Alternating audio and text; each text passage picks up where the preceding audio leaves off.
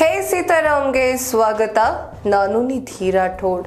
ಬಿಜೆಪಿಯ ಮಹಾನಗರ ಪಾಲಿಕೆಯ ಇಬ್ಬರು ಸದಸ್ಯರಿಗೆ ಇದೀಗ ಅನರ್ಹ ಭೀತಿ ಕಾಡ್ತಾ ಇದೆಯಂತೆ.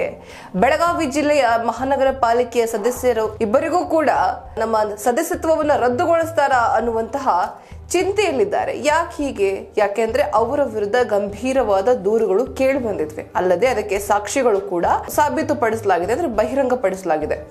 ಇದೀಗ ಜನ ಕೂಡ ಈ ವಿಷಯದಿಂದ ಆಕ್ರೋಶಗೊಂಡಿದ್ದು. ಅವರ ಸದಸ್ಯತ್ವವನ್ನ ರದ್ದುಗೊಳಿಸಬೇಕು ಅನ್ನುವಂತಹ ಆಗ್ರಹ ಎಲ್ಲೆಡೆ ಕೇಳಿ ಬರ್ತಾ ಇದೆ. ಈ ಬಗ್ಗೆ ಮೊದಲಿಗೆ ದೂರನ್ನ ಕೊಟ್ಟಿದ್ಯಾರು? ಇವರು ಮಾಡಿದಂತಹ ತಪ್ಪೇನು? ಜೊತೆಗೆ ಸಾಕ್ಷಿ ಏನ್ ಸಿಕ್ಕಿದೆ?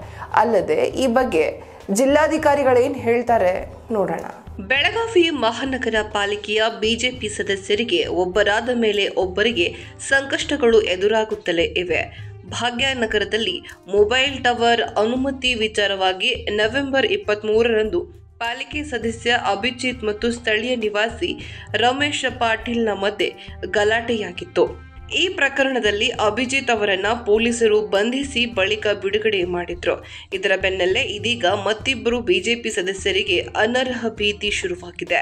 ಸರ್ಕಾರಿ ನಿಯಮಗಳನ್ನ ಗಾಳಿಗೆ ತೂರಿ ತಮ್ಮ ಪತ್ನಿ ಹೆಸರಿನಲ್ಲಿ ಮಳಿಗೆ ಪಡೆದುಕೊಂಡ ಪ್ರಕರಣಕ್ಕೆ ಸಂಬಂಧಪಟ್ಟಂತೆ ವಾರ್ಡ್ ನಂಬರ್ ಇಪ್ಪತ್ತ್ಮೂರರ ಸದಸ್ಯ ಜಯಂತ್ ಜಾಧವ್ ಹಾಗೂ ವಾರ್ಡ್ ನಂಬರ್ ನಲವತ್ತೊಂದರ ಪಾಲಿಕೆ ಸದಸ್ಯ ಮಂಗೇಶ್ ಪವಾರ್ ಮೇಲೆ ಅನರ್ಹ ಭೀತಿ ಶುರುವಾಗಿದೆ. ಇನ್ನು ಅವರ ಮೇಲೆ ಈ ಅನರ್ಹ ತೂಗುಗತ್ತಿ ತೂಗಾಡ್ತಾ ಇದ್ದು, ಬಿಜೆಪಿ ಅಧಿಕಾರದ ಅವಧಿಯಲ್ಲಿ ಬಸವೇಶ್ವರ ವೃತ್ತದ ಬಳಿ ತಿನಿಸುಕಟ್ಟೆ ನಿರ್ಮಾಣ ಮಾಡಲಾಗಿತ್ತು. ಈ ತಿನಿಸುಕಟ್ಟೆಯಲ್ಲಿ ಬಡವರು, ನಿರ್ಗತಿಕರು, ಆರ್ಥಿಕವಾಗಿ ದುರ್ಬಲರಿಗೆ ಮಳಿಗೆ ನೀಡುವ ನಿಯಮವಿದೆ. ಆದರೆ ಜಯಂತ್ ಜಾಧವ್ ಮತ್ತು ಮಂಗೇಶ್ ಪವಾರ್ ಅವರು ತಮ್ಮ ತಮ್ಮ ಪತ್ನಿಯರ ಹೆಸರಿನಲ್ಲಿ ಮಳಿಗೆಗಳನ್ನು ಹಂಚಿಕೆ ಮಾಡಿಕೊಂಡಿದ್ದಾರೆ. ಹೀಗಾಗಿ ಈ ವಿಚಾರವಾಗಿ ಸೋನಾಲಿ ಜಾಧವ್ ಹೆಸರಿನಲ್ಲಿ ತಿನಿಸುಕಟ್ಟೆಯಲ್ಲಿ ಸಂಖ್ಯೆ ಇಪ್ಪತ್ತೊಂಬತ್ತರ ಮಳಿಗೆ ಇದ್ದರೆ ತಿನಿಸುಕಟ್ಟೆಯಲ್ಲಿ ಸಂಖ್ಯೆ ಇಪ್ಪತ್ತೆಂಟರ ಮಳಿಗೆಯನ್ನ ನೀತಾ ಮಂಗೇಶ್ ಪವಾರ್ ಹೆಸರಿನಲ್ಲಿ ಹಂಚಿಕೆ ಮಾಡಲಾಗಿದೆ. ಈ ಸಂಬಂಧ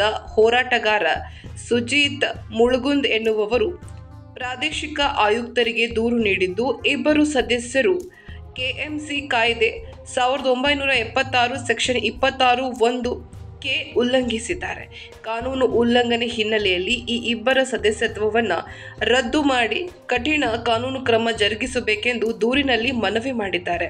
ಇನ್ನು ಈ ದೂರು ಬೆನ್ನಲ್ಲೇ ಪರಿಶೀಲನೆ ನಡೆಸಿ ಕ್ರಮ ಕೈಗೊಳ್ಳುವಂತೆ ಪ್ರಾದೇಶಿಕ ಆಯುಕ್ತರು ಜಿಲ್ಲಾಧಿಕಾರಿಗೆ ಪತ್ರವನ್ನ ಬರೆದಿದ್ರು.